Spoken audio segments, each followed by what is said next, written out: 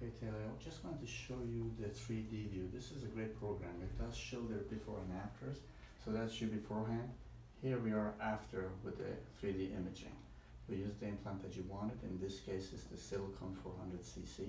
Mm-hmm. It kind of gives you a good idea what things are going to look like. So let's stop this for a second. Let me just go to frontal view. You We can even turn it this way so you can see how much of a projection we can create all directions.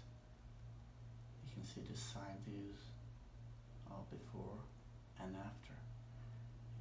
So if you want to try different sizes, we can always try different sizes, different profiles as well. Mm. Okay?